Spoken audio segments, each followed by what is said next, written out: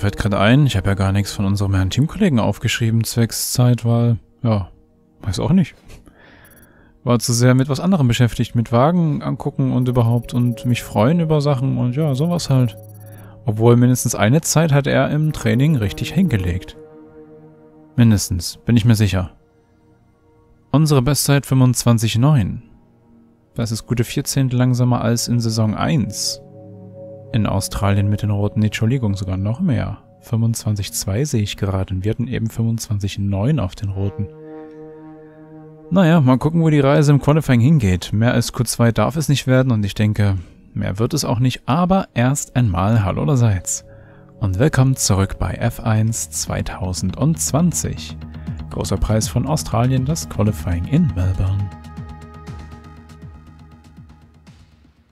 Geschätzt stehen wir laut Qualifying Tempo Programm oder laut Ziel stehen wir da auf der 17. Mal gucken, wo wir uns hin verfrachten. Jetzt soll es noch trocken sein, später dann nicht mehr. Ein paar verzwickte Stellen. Na, jetzt noch trocken, später im Rennen dann am Ende Nässe.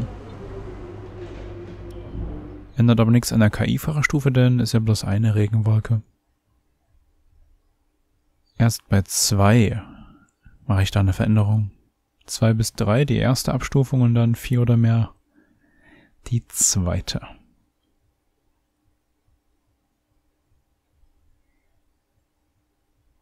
In der letzten sehr langen Folge gab es auch mal eine sehr lange Wartezeit hier.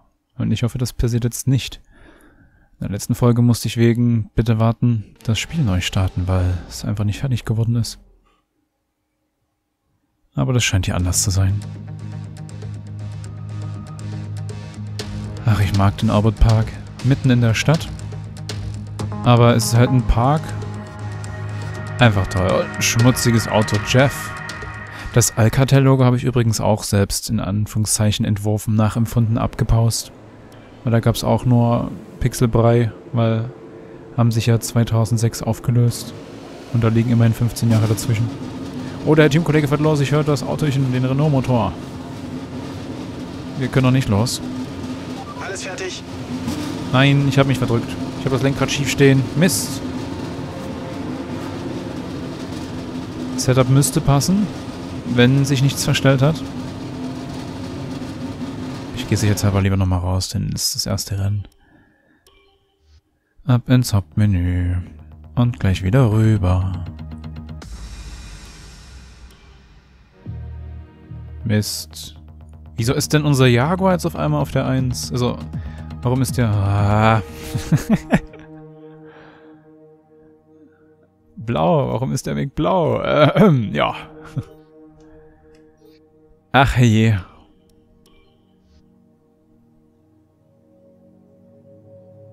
Ist aber viel Schwarzbild. Okay. Ich konnte zwar runterdrücken, aber es war ganz schön lange viel Schwarzbild.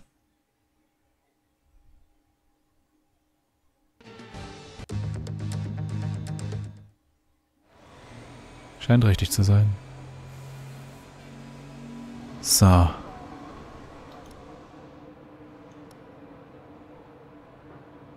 Auto-Einstellungen.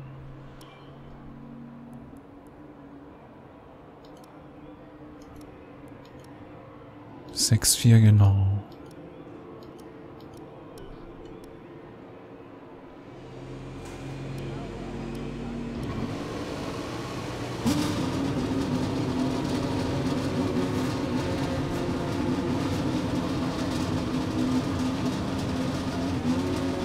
Das Ziel ist Q1 überstehen, Q2 erreichen, aber nicht über Q2 hinauskommen.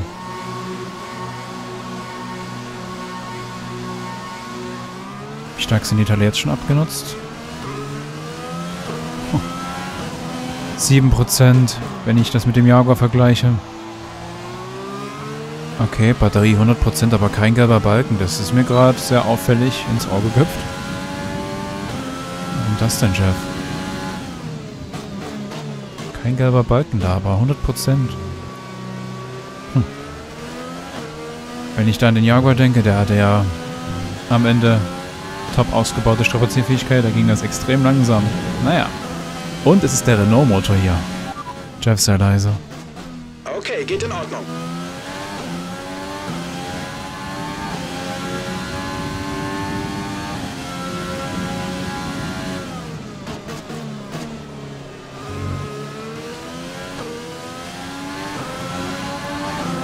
Ich denke, hoffe mal, generell, auch der weiße Balken ist gerade nicht da. Ich denke mal, das wird sich mit der nächsten Startzielinenüberfahrt sich ändern.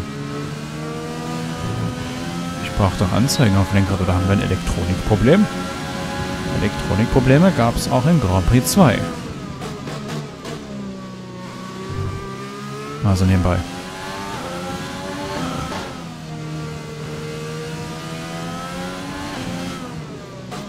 Gefällt diese Abstufung halt nicht beim Strom. Entweder heiße Runde oder kein Strom, das ist so bescheuert. Ja, da, da haben wir was. Balken. Na toll, da fährt jemand raus.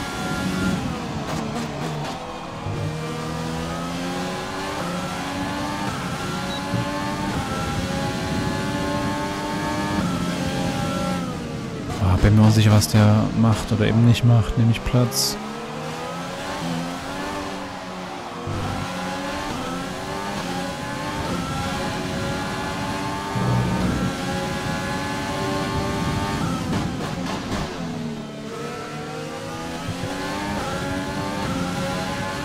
Entweder fährt er recht schnell oder ich viel zu langsam. Denn wir sind nicht so wirklich näher gekommen.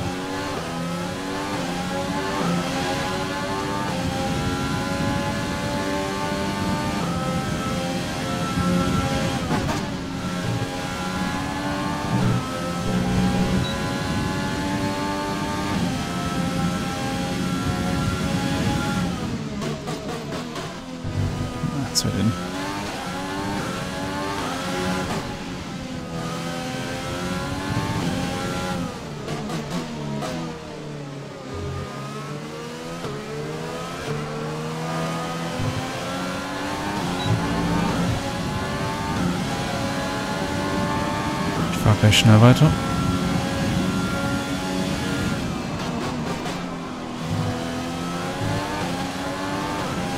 kommen nicht rum. Sehr schön. 13 gewonnen. Noch schöner.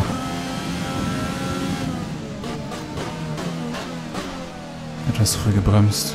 Etwas ist gut, das war recht viel.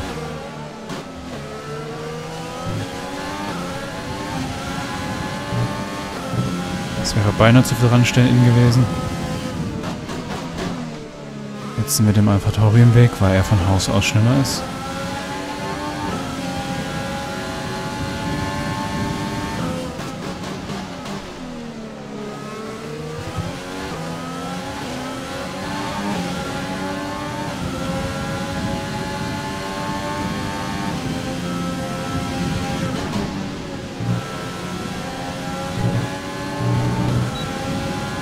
Komm schon, das ist die eigene Bestzeit.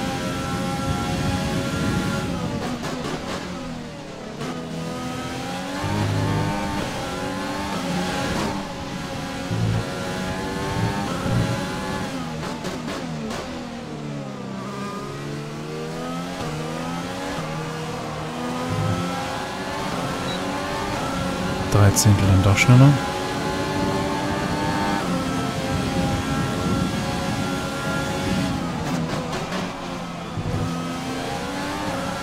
1,6 Tankrunden ist zu wenig.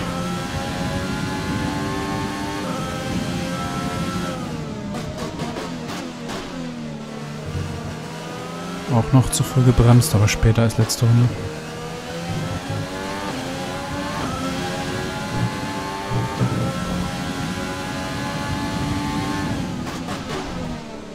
Zu lange keinen Strom verwendet.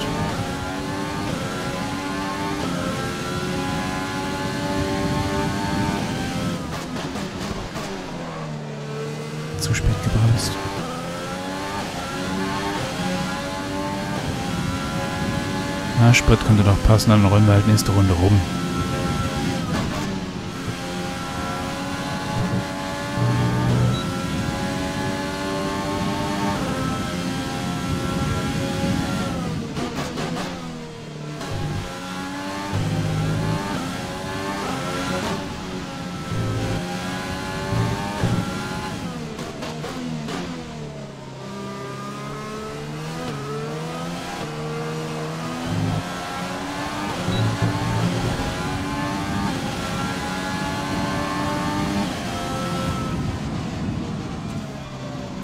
Hinter uns.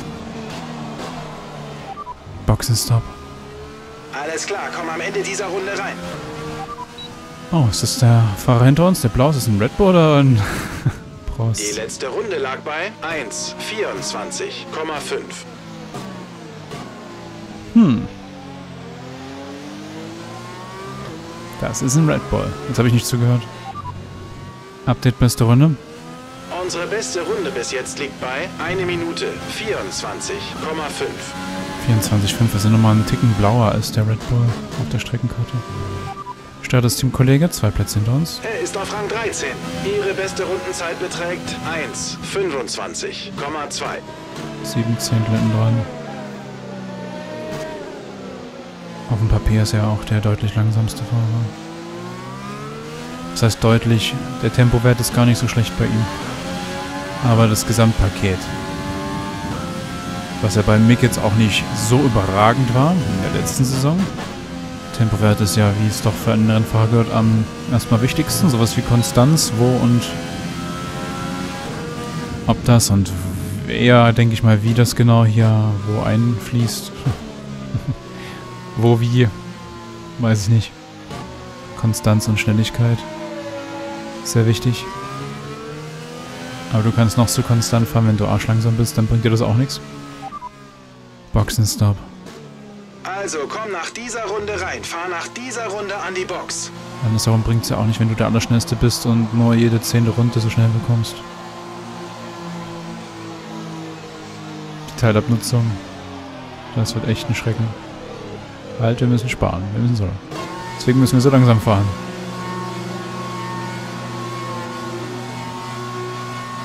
Boah. Schau auf. Ist ja schon gut.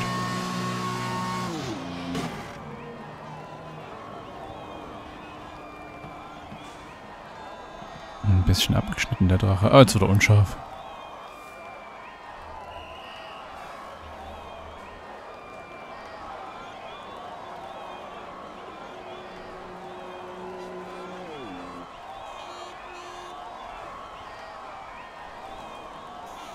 Ja, zugegeben, der Platz da für den Drachen und hier für die 96, der ist nicht groß. Da sind nicht viele Pixel. Trotzdem sieht das immer viel schärfer aus auf Photoshop, als es hier im Spiel aussieht in anderen Teilen. Ah, das ist relativ vergleichbar scharf. Naja.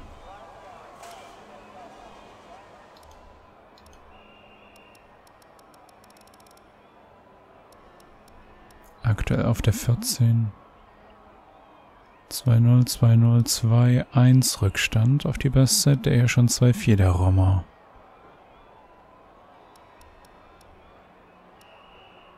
Alesi sogar 19. Das ist gut, finde ich. Ziemlich gut. Wenn auch nur... Okay, Latifi können wir ausklammern, der hat sogar 19. auf seinen Teamkollegen, aber 13. für Russell. Gut, wir sind auch schneller als Williams mit unserem Team, trotzdem. Finde seine Leistung ziemlich gut. Wie beim Mick zu Beginn.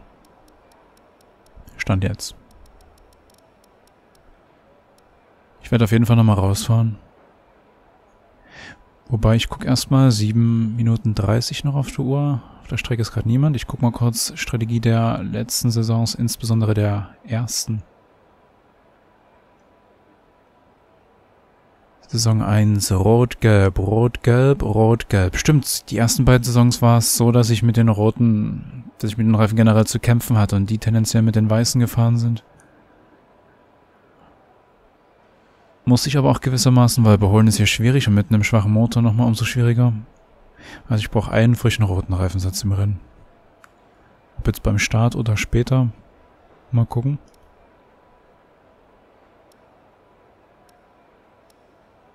Es wird im Rennen nicht einfach. Ich überlege mir gerade, gelbe Reifen beim Start oder rote beim Start. Vorteil rote beim Start. Wir werden nicht ganz so einfach gekascht, weil ich habe im Hinterkopf, der Renault-Motor ist nicht so schnell.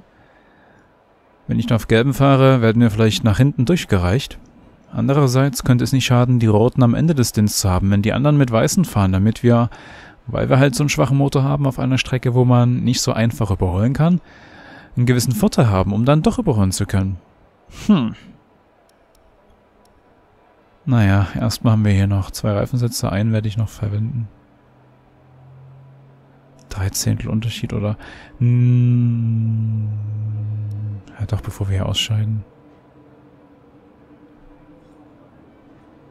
Dann kann ich aber im Rennen eigentlich keinen mehr verwenden. Oder ich verwende den, aber die Reifen, die gehen mir, wenn ich hier im Rennen rot und gelb fahre, sehr gut aus. Ich meine, ich kann mich noch gut an die ersten beiden Saisons erinnern, als wir am Ende des Rennens dicke Probleme bekommen haben, weil ja, die anderen halt doch schon schneller waren. Ich muss mit frischen Roten ins Rennen gehen. Also entweder jetzt mit den Reifen nochmal probieren, die wir jetzt probiert haben und schneller fahren, oder die rote dann muss ich halt nochmal verwenden. Ich glaube letzteres, denn ich ziele auf eine Runde ab jetzt und eine Runde mit dem gleichen Reifensatz dann in Q2. So machen wir's.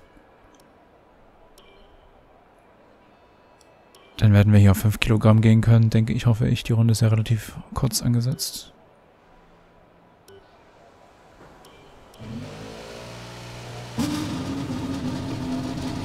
Klingt schon cool. Unter den gegebenen Umständen. Ne? V6 und so. Elektrokram. Rasenmähergeräuschsauto.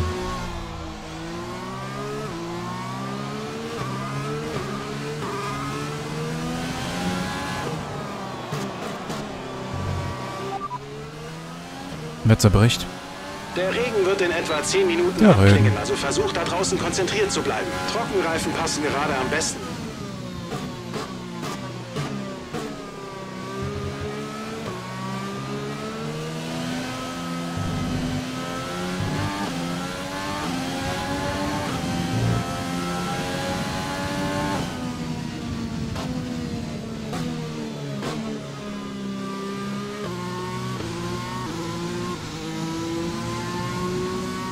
Sehen wir den Wagen auch mal, wenn er untertourig fährt. Ich finde, dieses Runterschalten klingt auch böse. Unter den gegebenen Umständen, ne?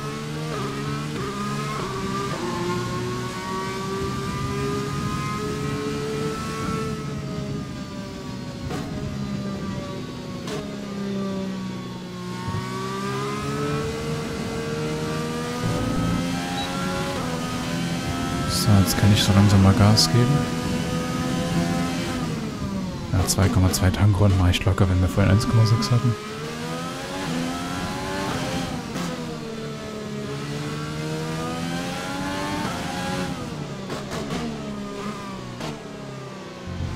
Reifen nochmal schmutzig machen ist nicht so cool.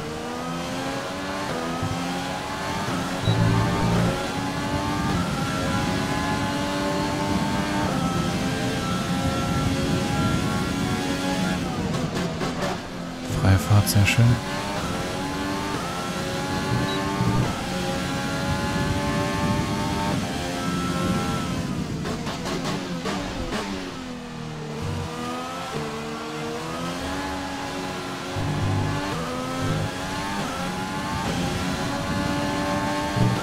Puh, das war eng.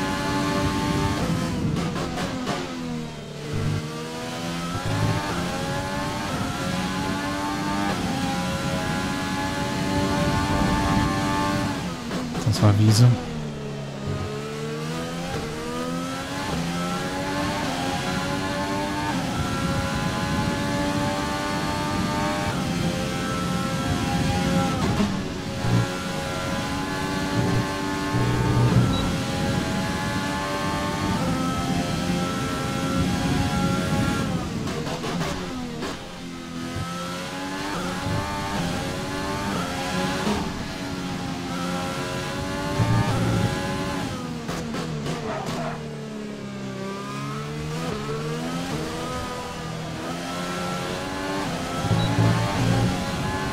Boah, nochmal sieben Zehntel. Wo kommt das denn her? Aktuell wäre das Q3. Puh, das kommt jetzt überraschend. Hab jetzt nicht so auf die Delta-Zeit geguckt, hab mich auf den Wagen und die Strecke konzentriert. Aber im letzten Sektor haben wir auf einmal aufgedreht. Im Vergleich zur Bestzeit davor. Gucke ich mir dann im fertigen Video nochmal an.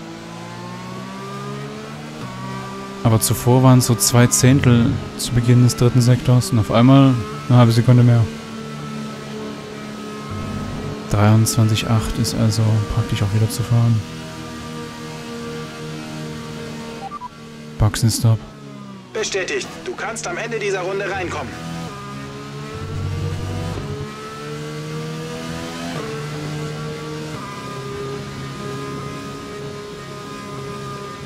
Gucken, ob ich zwischen den Folgen mal nachgucke, was wir mit dem Jaguar an Bestzeit in Saison 1 hingelegt haben.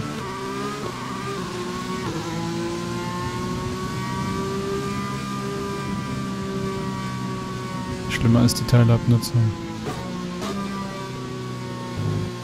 Noch schlimmer wäre es, wenn die Teile wirklich stärker abnutzen würden als die Reifen während eines Stints. Pro Rennen. Ja, eine neue Vollmontur von der Antriebseinheit. Weiß nicht, wo der Herr Hintermann gerade ist, ob auf der Outlap oder heißen Runde. Oh, das war der Teamkollege. Schnell weg. Okay, beendet. Dann können sie jetzt noch auf der schnellen Runde sein. Alesi habe ich leicht behindert. Das war nicht gut. So, jetzt schnell rein.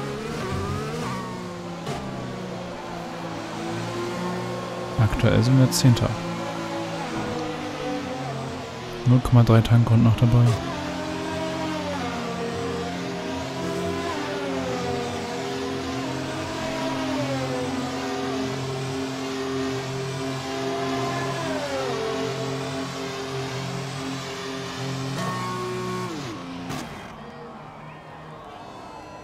Wie das einfach unscharf wird.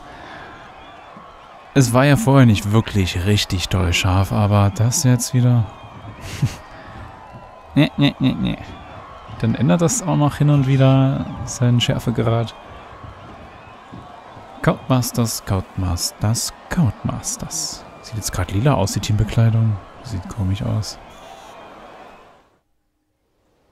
Am Ende auf der 10. Der Teamkollege ist ausgeschieden.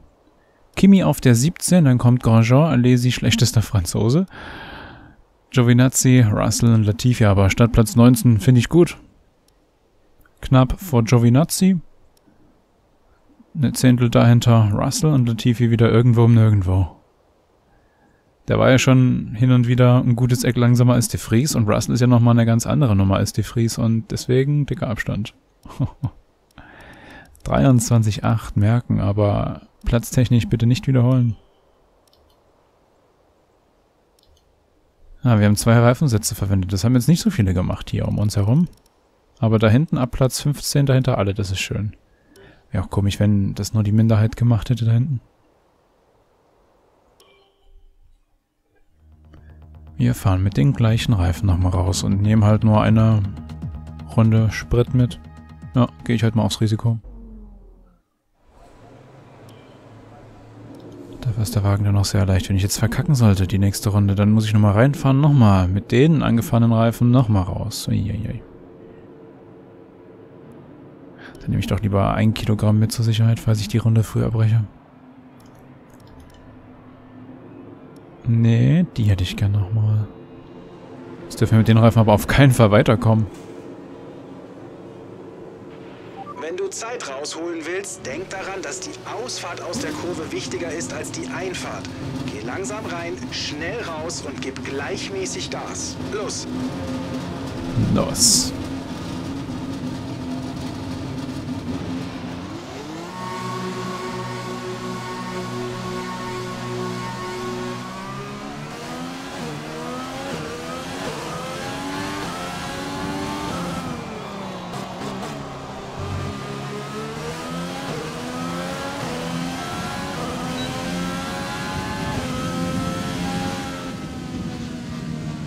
Die Reifen jetzt nicht hart rannehmen. Gegen Ende der Runde, klar, müssen die auf Temperatur sein, aber jetzt zu Beginn ist das noch absolut unnötig. Das da hinten ist auf jeden Fall ein Red Bull auf der Streckenkarte, weil der Teamkollege ja schon raus ist.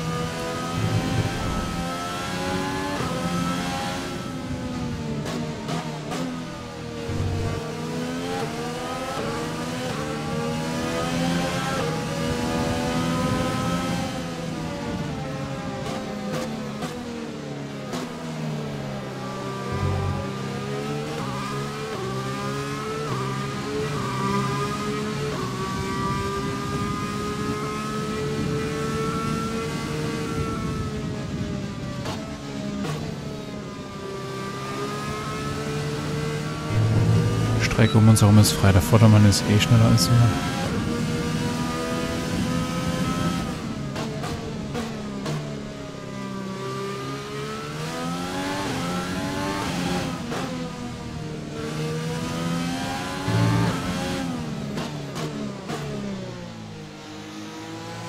Dann wollen wir mal.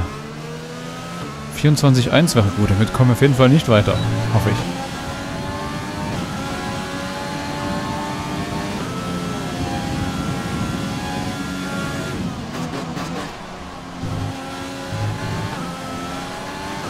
Musste vom Gas gehen. War zu weit in.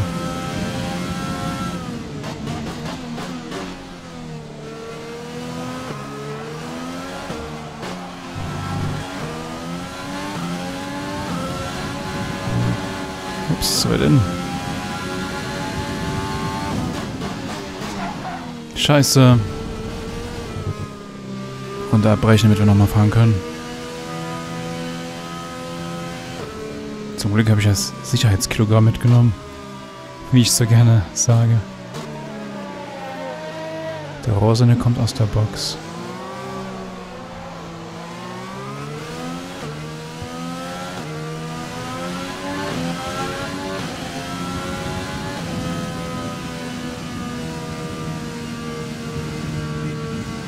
Das wäre bitter, wenn wir mit den Reifen an den Start gehen müssten.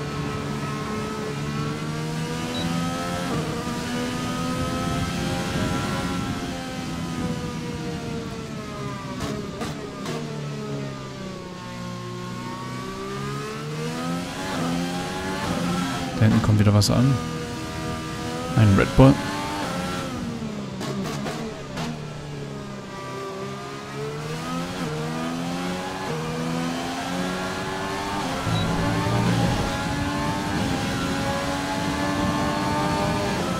Der Mercedes ist hinter uns.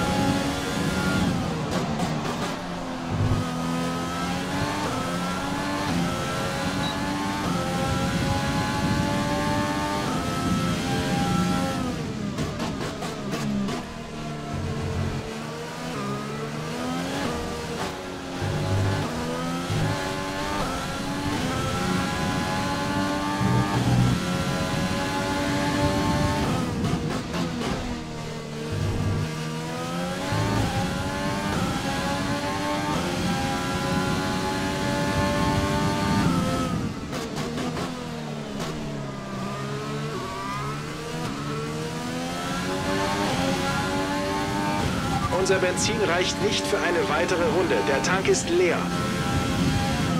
Ich weiß, Chef. Warum bist du eigentlich nicht leise? Upsala.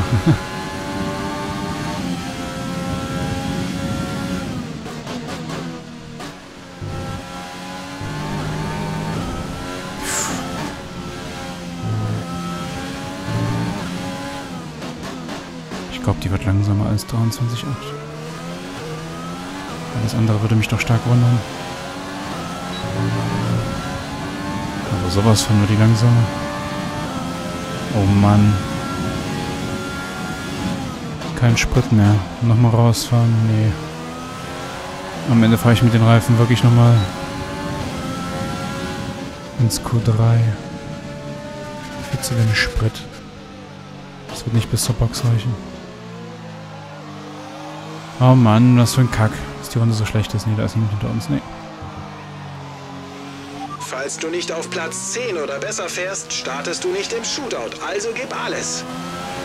Nee, ich will ja frische Reifen haben, weil ich habe ja die Erfahrung aus Saison 1 zum Beispiel. Mit Rot und Gelb wird das schon schwierig.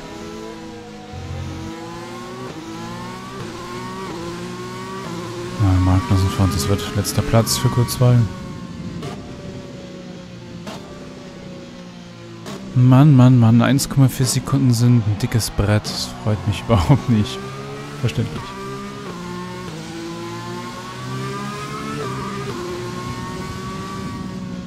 Null Komma null, noch nicht 0,00, sondern gerade 0,09.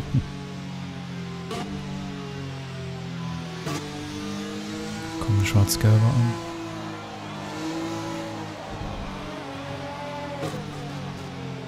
Okay, er fährt eh nicht schnell.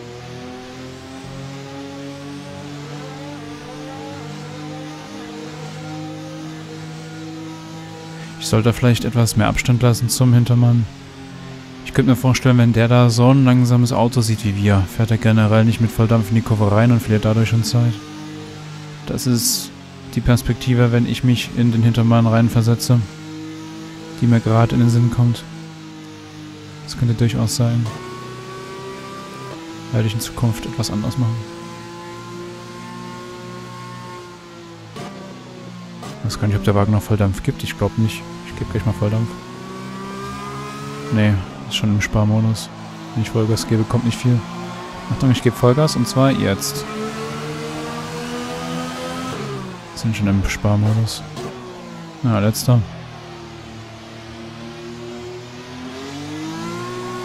Allerdings der Startplatz auch überhaupt nicht gut. Ich fahre mit den Reifen nochmal. Ich habe jetzt schon eine Zeit gesetzt.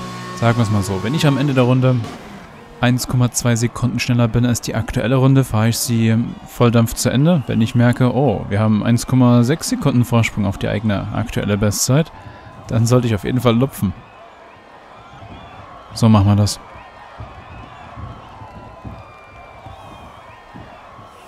Dann nehmen wir uns aber definitiv plus 5 Kilogramm mit.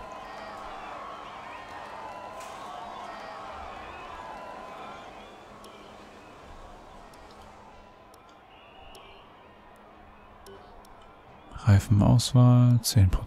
Boah, 4 Zehntel langsamer. Alles bereit. 23,8 plus 4 Zehntel können wir jetzt praktisch rechnen. Ich habe jetzt die Delta-Zeit für Stadtziel, damit kann ich ja dann gucken, ob ich durchziehen kann oder nicht.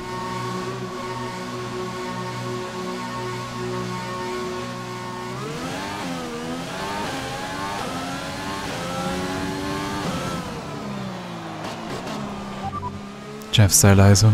Ist angekommen. Bestätige.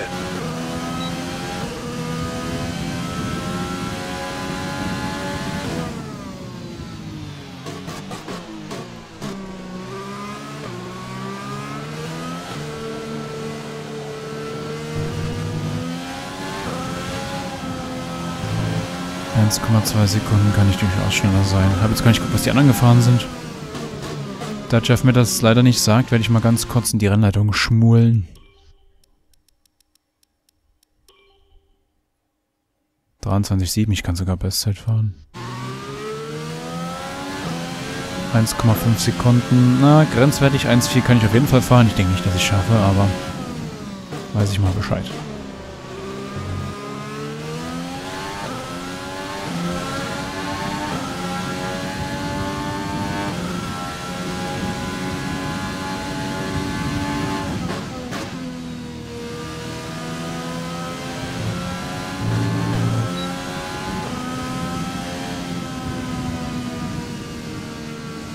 Fünf Minuten noch. Ich denke mal, wir werden keinen Verkehr haben.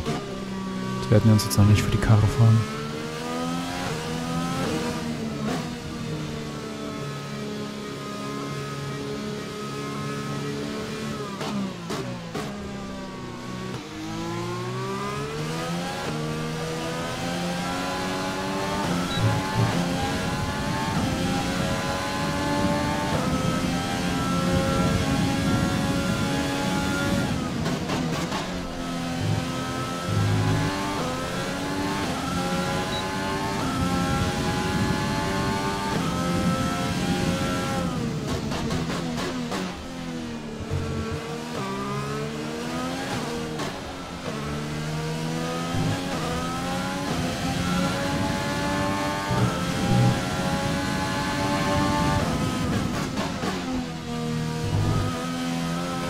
Wochenstein.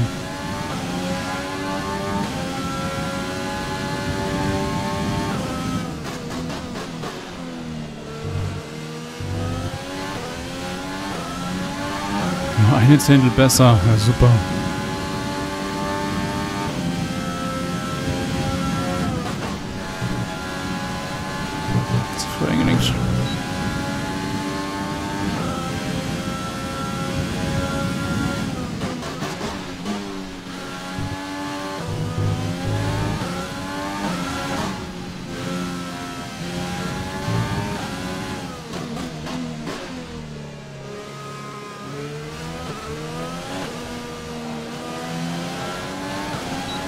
Frage. Vollgas durchziehen. Ein Platz nach vorne gekommen. 24,6. Hm.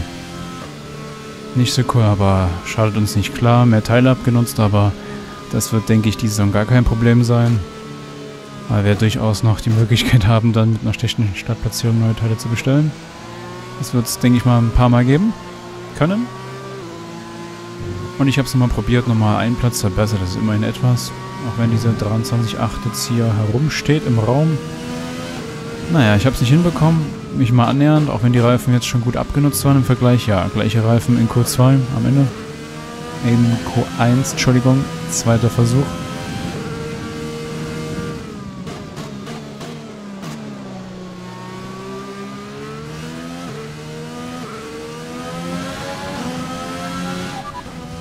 Boxenstopp. Geht klar. Boxenstopp in dieser Runde.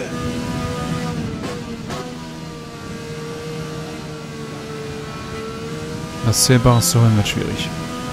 Sehr schwierig. Mit dem Motor.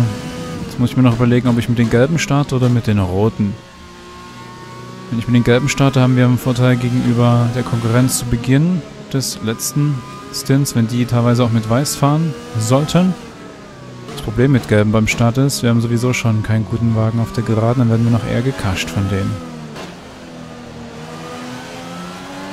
Ich glaube, ich werde Rot zu Beginn aufziehen.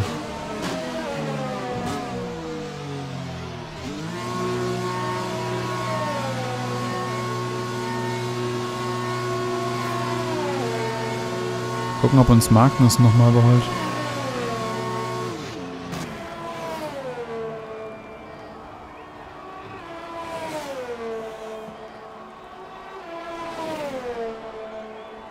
Ja, wollte schon sagen, warum wird er nicht unscharf? Geht doch.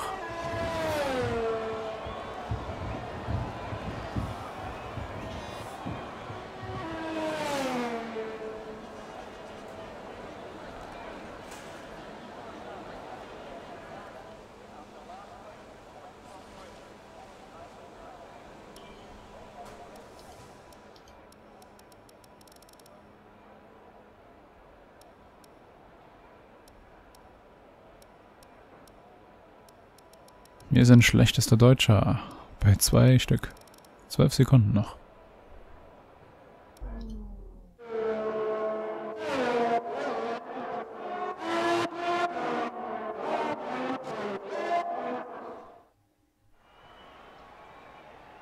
Leclerc ist ausgeschieden, deutlich hinter seinem Teamkollegen, vier Zehntel. Mhm, Quert ist auch raus. Perez auf der 13. Dann Gasly, dann Vion, dann Magnussen. Wir sind der Einzige, der jetzt keine zwei Reifen verwendet hat, aber ich will auch frische Reifen beim Start haben. Oder generell fürs Rennen, sagt man es noch so. Aber ich denke mal, es wird eine Rotreifenwahl für den Start geben. Eben weil wir keinen guten Wagen auf der Geraden haben und dann vielleicht im ersten Stint noch eher überholt werden können. Ach so, Reifenunterschied. Hm. 5,5 Zehntel von Weiß zu Gelb und 1,1 Sekunde zwischen Gelb und Rot. Das nochmal am Rande. Auch wenn jetzt schon etwas spät dran. Aber besser spät als nie und bis zum nächsten Mal. Macht's gut. Und tschüss. tschüss.